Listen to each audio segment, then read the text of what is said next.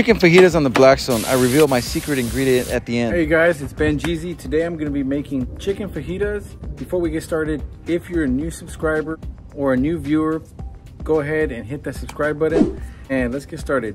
So the first thing that we wanna do when we start cooking on this Blackstone griddle is we wanna make sure we put some oil on it, we wipe it down with the towel, make it real clean, and start adding our veggies, adding everything else, and then cooking that chicken and then basically meshing it together.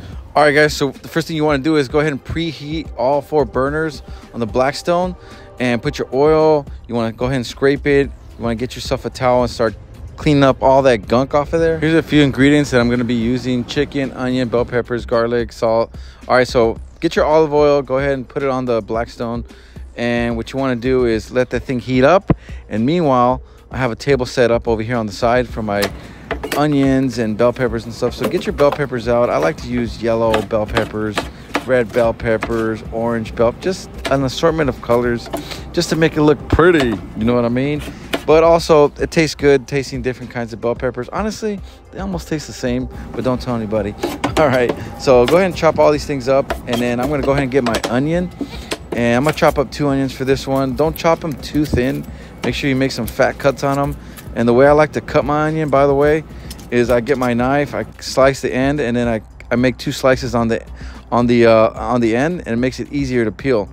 So yeah, so chop up this onion, get it ready to go. Get yourself a bowl, all right. And what I do is I put all my veggies in there first, and I like to do this because the different flavors start to marinate. So I like to toss it in olive oil. All right, get my garlic. This is the special ingredient, guys. Tons of garlic garlic salt.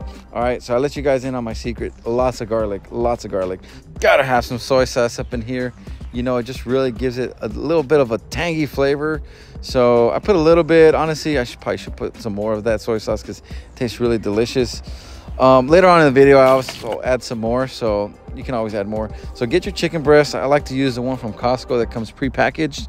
So we went ahead and used two packets and they were semi-frozen and we just kind of defrosted them oh there's my son. Always come up in the mix. What's up boy? Yeah so he loves to help me cook sometimes from time to time. Yeah so go ahead and chop these chicken breasts and cut them in like to strips all right? Like pretty much long strips is good enough. And what i like to do is just make sure that they're all kind of like the even size but if they're not it's not too big a deal. Don't worry about that all right and then i'm done. I'm getting ready to put this chicken in the griddle. Make sure it's hot and i like to use the left side of the griddle. Okay this is important. Use the left side of the griddle. This one tends to be the hottest. I put a little bit more oil just so it doesn't stick. And at this point really it's just doing um, it's just cooking. It takes about 15 20 minutes um, to cook this chicken breast so don't overcook it. That's a big big tip. Do not overcook your chicken breast when you're making fajitas because everyone overcooks it this is a big deal, okay? So I'm gonna show you a tip. Keep watching because there's a tip that you must know when you're doing this. This is the tip here. Lower the heat on the chicken fajitas and keep the right side hot when you go ahead and add your veggies. It'll continue to cook your chicken breast at a low heat and not overcook them. And then this is when you can get your veggies, put them on the right side of the griddle and go ahead and cook them. And once they're almost done, then you mix them together. You blast everything on high heat and now you're ready to go and everything's pretty much like evenly cooked all right? This is the proper way to cook your fajitas all right? So make sure you don't miss a step. So look at these fajitas going.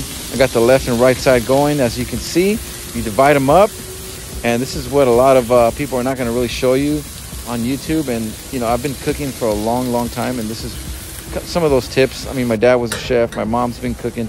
We've done weddings. I mean we've cooked all kinds of stuff. So um, yeah, and we love to cook, so you end up figuring out some tips of the trades. Well, anyways, so at this point, what you want to do is just keep stirring this in, stirring this in, and right here, it's just about ready for me to start stirring it in. So I might go ahead and do this mix process, and all you're doing is just mixing the two. All right, and like I said, go ahead and add some more uh, garlic salt. I like to add a little bit more seasoning as the time goes on. And right here, it's still in the cooking process. Chicken's not done. Veggies are not done. So I'm gonna wait till they're done. Right here, it's looking like they're pretty much about to be done. So I'm gonna give it a quick turn, uh, check them once more, and then uh, I'm gonna go ahead and try this chicken because you know, the chef's got to try the meat. Let's see how it tastes. Mm, oh my goodness. All right, add a little bit more garlic salt, a little bit more soy sauce, get some sass, some zing in there, you know? You know what I'm saying? It's gotta be, gotta have some flavor, gotta have some fun while you cook too. So this is a finished product, you guys. I mean, really, fajitas is super simple. My wife was making rice inside, so I went ahead and dumped all this stuff into my bowl. And another thing, when you make fajitas, make sure you have some sriracha. I didn't show it in the video, but I did put sriracha. Oh my goodness, it's so ridiculous. Put the rice, and then you put the sriracha all over it. Um, dude, it's out of this world. All right, guys, thanks for sticking with me on this video. Fajitas are done. Go ahead and try this out. Mmm. Bro, look at that. Mmm. See that? Mmm. Can't stop eating it. So good. Mmm. Totally recommend it. Mmm. I gotta go, guys. I gotta eat. Take these kids to soccer practice. You know how it goes. See ya. Don't forget to subscribe, hit that like button. Yeah. And here it is plated, you guys.